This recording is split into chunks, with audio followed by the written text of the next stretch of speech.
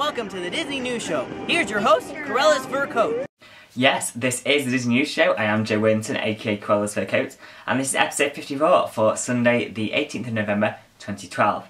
Now, I really hope everyone enjoyed last week's episode of the Disney News Show, which was live from Disneyland Paris. I had such good fun doing that one. It's been great to hear some feedback from you guys about that episode, and I think it, it, was just so much fun to do. Obviously, I had the castle in the background. It was really, really great. And if you've not seen that, that was last week. So it was episode 53 of this new show, and that means I was in Disneyland Paris last week. I'm not there now, and um, although it's a shame to be back, I um, um, I had such a good time at Disneyland Paris. It's so much fun, and I am actually going back in um, in December in New Year.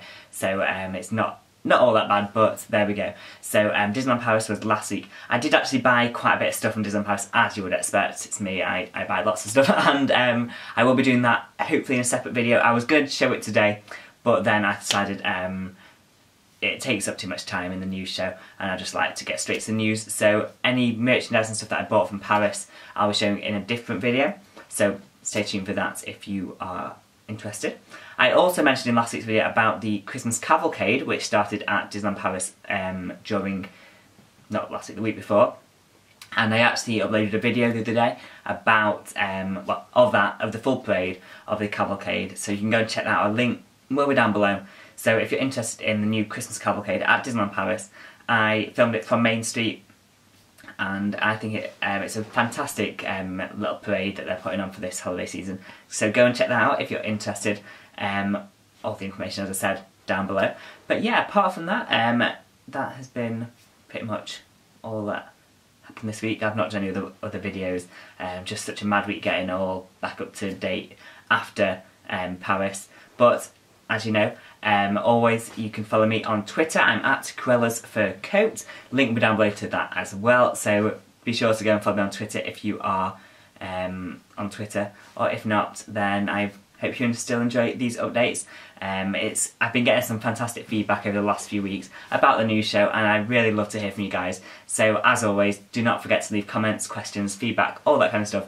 You guys just are what make the show and I really, really enjoy um, reading what you guys have to say. I love it when um, I get uh, feedback when I get some positive comments and stuff like that. It's just great and it makes it all worthwhile. So thank you so much to anyone if you sent in any feedback, anything like that um, this week then, or anytime really. Thank you so much for you guys um, for for that.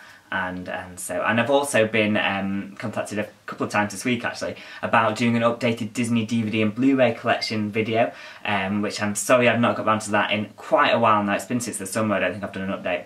So um, it's kind of been because I've not really bought that many DVDs and Blu-rays um, over the past few weeks, months.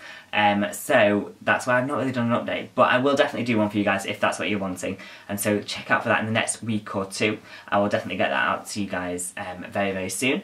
But yeah, um, apart from that, new episode of the Minnie Minx is this week, and it was all to do with Disneyland California. Go and check that out. Um, as always, link is down below again to the Minnie Minxes. Um, fantastic Disney podcast. I mean, my favourite. I don't know about you guys, but just a fantastic show. And they had on um, some really cool stuff about um, Disneyland California this week, which um, of course I haven't visited as I say all the time, but um, there we go. And so I don't want to talk too much about it. You go, you go and check out Minnie Minx if you're interested, and um, so that is that. I think that's all I've got to report for this week, and we're going to get straight on to the Walt Disney World news. And it was announced earlier this year that um, there will be a Starbucks coming to each of the American Disney parks in the near future. And this week, we actually got um, the announcement of the new Starbucks coming to Magic Kingdom and Epcot uh, next year. And um, when it when it was first announced, people were kind of not not too bad about this. This was um, it, people saw this as a good thing. I mean, Starbucks is very popular, and um, people thought, okay, yeah, Starbucks and parks, no problem. Um, no big deal there. But this week, outrage, as you would expect, when the location for the Magic Kingdom's Starbucks was announced. And it will be at the Main Street Bakery, of course, on Main Street. And um, I know this was announced a week ago, so it's pretty much old news now, but I have not assessed what my feelings are about this. so that'll be coming very soon. But yeah, Main Street Bakery at the Magic Kingdom and Fountain View at Epcot. That'll be next year from um, January. I think the Main Street Bakery is closing, opening in early summer. Fountain View closing in um, in March, reopening in midsummer. So yeah, that's all happening next year. But I cannot really express how sad I really am that the Main Street Bakery is is changing to Starbucks and um, for me the Main Street Bakery is a wonderful wonderful little um, little place to go and get breakfast um, at the Magic Kingdom and we we love it I mean we go pretty much every time we've been to the Magic Kingdom for a day um, we would say we're not having breakfast at the hotel, we are going to the Main Street Bakery just to get one of them cinnamon rolls or, or whatever. Not just the cinnamon rolls, but you know. And I think that the Main Street Bakery is just, it's such a, a cute little shop, uh, not shop, um, cafe, should we call it, cafe. And I think it's so much part of Main Street, such a big part of what Main Street is. And I think that if the fact that they're getting rid of it, well, they're not getting rid of it, I will come on to that in a second, but I really don't think that um, that was the best choice for them and I think Disney would have known that the fans would have been outraged by this as we are and as you would expect. I mean people are excited, yes we can get Starbucks in um, in Magic Kingdom now but I think just the location is more is more of the big deal. And um, I, they have actually mentioned this week that the Main Street Bakery will be keeping its name. I guess it'll be called something like the Main Street Bakery by Starbucks or whatever, you never know. Um, so something like that. But for me, I would I would prefer they to, them to go somewhere else. I mean, it would have fit maybe nicely in Tomorrowland, somewhere like that. Uh, maybe on the Tomorrowland Terrace or somewhere somewhere like kind of secluded. Not this big Starbucks on Main Street. I mean, yeah, it's just it's just a bit um, a bit annoying really. And um, I know we've not seen what's going to happen, and they have actually mentioned there will be a couple of um, of the Disney items, or the classic Disney items that you can get from the bakery, will still be available in the Starbucks. But um, but yeah, I mean, the bakery is is is just one place, and it's really an exclusive kind of venue and an exclusive Disney experience. Whereas Starbucks, I can go five minutes down the road and get a Starbucks, even here in the UK, and um, Starbucks is everywhere, and really, I don't, I don't know, we'll, we'll have to wait and see. And as with all these Disney partnerships, I'm not sure how long this is going to last. And so there we go. But as I said, that is um, a bit of my rant for this week, um, is that Starbucks is coming to Main Street uh, Bakery, Fountain View at um, Epcot Future World. Not too bothered about that, I think it'll be integrated quite well into there and um, for me personally Fountain View. Um, I, I don't think I've even eaten there. I don't think it's just a cafe, isn't it? So I've not eaten there, but um, but there we go. Uh, that is the first bit of news, and sorry for rambling on a bit about that. But next up, um, Disney's newest nighttime, nighttime entertainment show, Celebrate the Magic, premiered at Magic Kingdom this week. And I spoke about this last week, and it rep, um, replaces The Magic, The Memories, and You, and is actually um, really quite different from uh, from that uh, previous show. And uh, the, the Magic Memories and You used to use the PhotoPass photos collected from that day of people, um, guests at the Magic Kingdom. Um, I'm not sure if it was all around what Disney World. I think it was just Magic Kingdom. Um, so that was um, that was that. This one is much more about the Disney stories and about the um, the classic Disney films. And um, in some ways, it's quite similar to Disney Dreams in the fact that it kind of just interweaves throughout many different movies, um, such as um, you've got Lion King in there, you've got Pirates of the Caribbean, Brave, Toy Story, um, Jungle Book, all these kind of things. Even Wreck-It Ralph, I was quite impressed to see that in there. Um, Dumbo, uh, Alice in Wonderland, all these different ones. Um, and so that that's kind of like that. But there's not really an overriding story as there is in Disney Dreams. And uh, the effects are spectacular, they're absolutely fantastic. The um, the whole the whole design is, is really incredible, but it's not it's not really like Dreams. If you've seen Dreams, you know what I'm talking about. But um, so it's that kind of thing, and there is no use of the water um, projection kind of thing. As you know, that that that kind of signifies the water projection. Um, there is not as many fireworks as I was expecting. I was expecting to be more fireworks. As you know, Dreams is kind of integrated fireworks throughout all. It I mean it's it's there all the time, uh, fireworks. Possibly because you've still got wishes going on at Magic Kingdom, whereas there's no separate uh, fireworks show. Actually, that hadn't um, crossed my mind yet, but yes, I think it's probably because of that. But I was maybe expecting to see still a couple more uh, fireworks than we do have in um, Celebrate the Magic. But it also looks fantastic. There's new projectors, everything.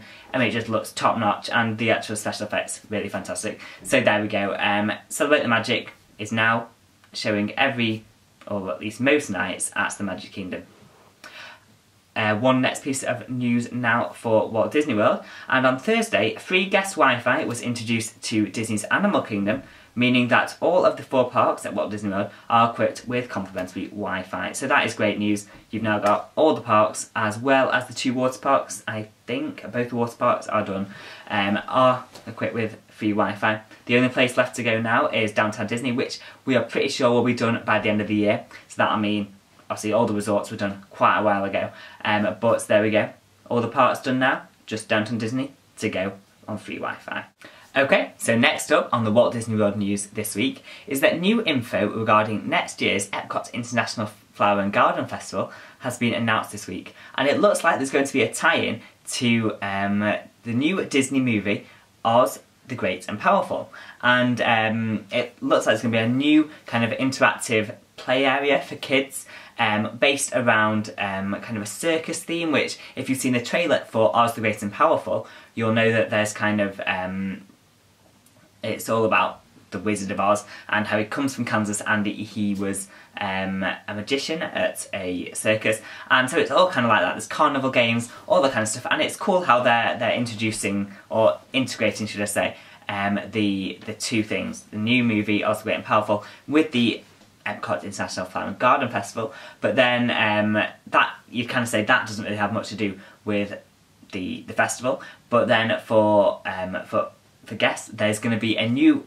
um, garden with kind of unusual plants based around the ones that we're going to see in the movie, so the ones you might find in Oz. So that's quite cool. I think there's kind of for kids there's that play area, and then for adults there's going to be the the it's not really um, an exhibition, but the new garden, a new garden regarding um, regarding Oz and um, uh, and the flowers of plants that you're going to find there. So that's really cool, and um, I'll be looking forward to seeing um, the kind of plants that they actually do get um, to be featured in their garden. So yeah, I will keep you up to date with that. Any more information um, about the International Flower and Garden Festival, which starts on March 6th, 2013.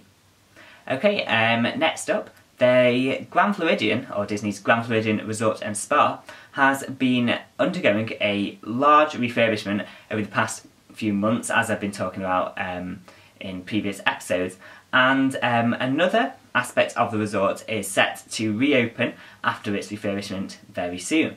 Um, the Senses Spa um, will be reopening on December 17th and um, has been fully remodelled or reimagined into kind of a Victorian setting. So this looks really cool. I've seen a couple of um, a couple of images, photos from the new spa, and it looks really really great. And you can um, you can now actually book um, for uh, treatments at the spa by calling 407 WDW Spas and you can uh, book in for uh, for treatments from December um, 4 should I say, for December 17th or later. And it's actually great because all the spas um, at Walt Disney World are becoming owned and operated by Disney. And so um, we're going to see that from the Grand Floridian and onwards by December no sorry, January 16th I think it is, all the spas at Walt Disney World will be owned by uh, and operated by Disney. So that is fantastic. And I think it was also announced this week that the Saratoga Springs Spa, um, spa at Saratoga Springs, will be um, closing for refurbishment on January 16th um, obviously when Disney gets ownership of that. So um, that is great news there. So I'll keep you posted on any more news to do with the spas or to do with the Grand Floridian um, as I get it.